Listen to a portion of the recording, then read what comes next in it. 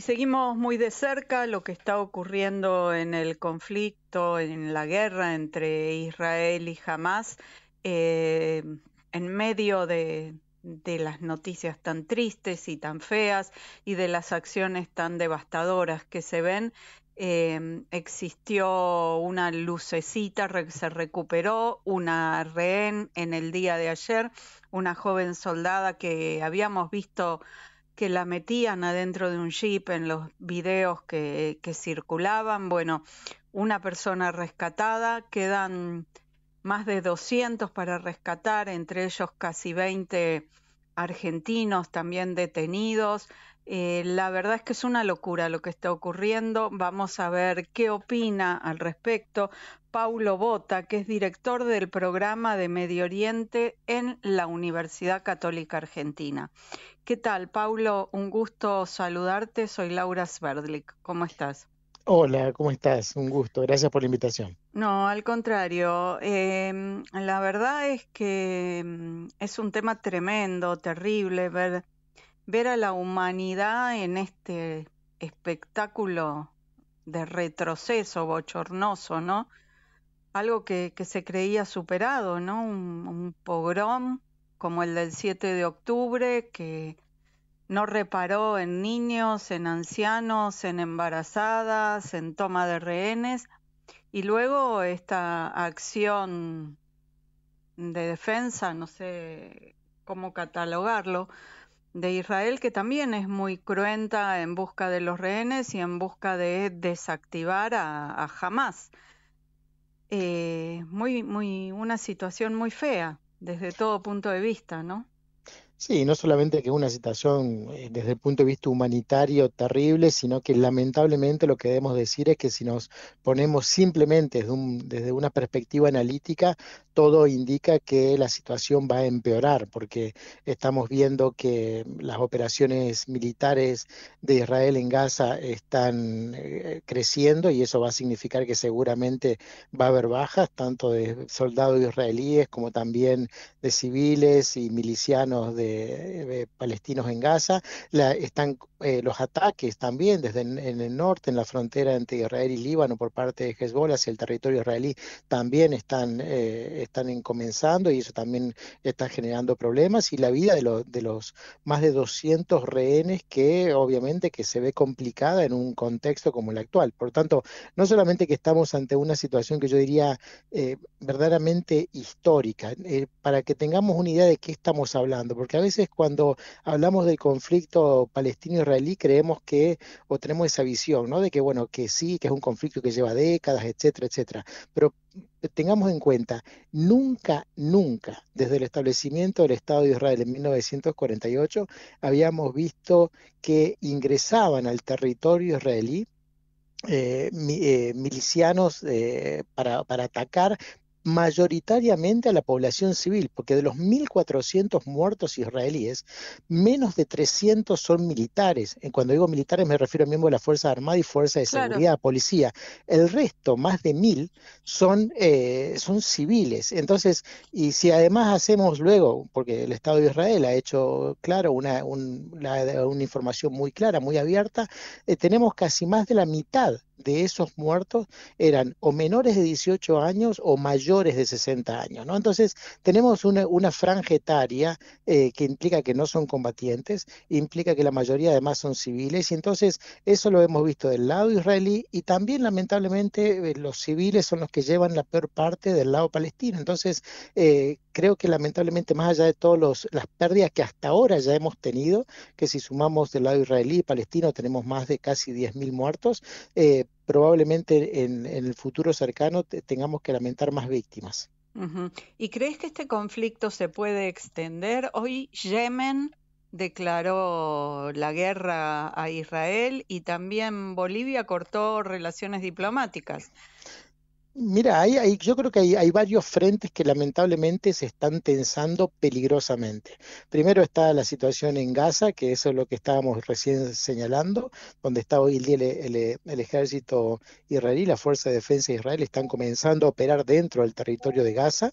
En segundo lugar tenemos la, la frontera en el norte entre Israel y Líbano. Ahí también estamos teniendo cada vez más ataques, incluso con novedades, porque por primera vez Hezbollah está utilizando misiles tierra-aire, algo que no había utilizado en el pasado, con lo cual es muestra que es una fuerza que cada vez es un poco más sofisticada en términos militares y eso también le agrega peligrosidad. Después tenemos la situación en Cisjordania, que tampoco está calmada, donde gobierna la Autoridad Nacional Palestina, ya tenemos más de 100 muertos eh, en choques que ha habido en estas últimas tres semanas. Tenemos la situación en Siria, donde eh, claramente hay, hay fuerzas iraníes y milicias pro-iraníes operando en territorio sirio y eso está generando cada vez más tensión, empezando por los ataques de la semana pasada de, de la Fuerza Aérea de Israel a los aeropuertos de Damasco y Alepo en Siria. Tenemos, como recién mencionabas, ahora otro frente que es en Yemen, que si bien en Yemen no hay un gobierno unificado, pero tenemos los hutíes, el grupo Ansar Allah, que es un grupo abiertamente apoyado por Irán, que ya no solamente ha atacado, eh, digamos, blancos norte misiles a, Israel también. A Israel, la semana pasada a Israel y también a fuerzas norteamericanas. Y también eso le podemos agregar también los ataques que han sufrido eh, algunos destacamentos eh, norteamericanos en, Irak. Por lo tanto, tenemos un, un, escenario que yo diría que es casi la tormenta perfecta, que nadie quiere que se convierta en, una, en una, un conflicto abierto, pero lamentablemente lo que hemos visto en estas tres semanas es que cada vez se va, se va agregando peligrosidad a la situación. Eh, Israel puede terminar esta fase eh, de, invasión, de guerra, eh, cuando llegue al cuartel general de Hamas, que suponen que está debajo de un hospital, una situación ultra delicada, además, además para mostrar en el escenario internacional cómo se hace para desmantelar un cuartel escondido debajo de un hospital es muy difícil que desde un punto de vista operacional, desde un punto de vista militar, una organización como Hamas tenga una, una cabeza eh, porque en realidad lo que intentan es eh, tener una capacidad descentralizada, de manera tal de poder sobrevivir a los ataques. Eh, pensá que eh, ya el, el, 2021, el último, el último digamos, eh, eh, choque fuerte que hubo entre, entre Hamas y el Estado de Israel, Israel mm, destruyó, según oficialmente, casi 100 kilómetros de túneles y ahora, al parecer, los mismos, la gente de Hamas dice que tiene casi 500 kilómetros de túnel, ¿no? Entonces, si a eso le sumamos que las ciudades que están, están siendo objeto de bombardeos por parte de, las fuerzas israelíes se convierten verdaderamente en, trampas para los soldados. Eh, yo no sé, eh, militarmente hablando, si realmente podemos hablar de que eh, con la destrucción de un solo lugar se pueda terminar la sede, el comando de, este grupo. Por el contrario, tiendo a pensar que es algo descentralizado y que va a sobrevivir incluso a los ataques más, quirúrgicos que puedan establecer la Fuerza Aérea Israel. ¿Crees que se puede llegar a una negociación para que devuelvan los rehenes o intercambien rehenes y prisioneros? Mm, creo que esa es, algo a lo que están apostando los que hoy en día quieren ser mediadores o que por lo menos se autoproclaman, en primer lugar Qatar, después Egipto y después, eh, ah, por lo menos hasta la semana pasada, porque ahora se han vuelto a tensar mucho las relaciones entre Turquía y el Estado de Israel, por lo menos Qatar y Egipto creo que lo están intentando, pero es algo muy difícil, es algo muy difícil porque eh, que la última vez que, que, hubo una negociación entre Hamas y el Estado de Israel por un soldado israelí se intercambiaron 1.200 prisioneros de Hamas.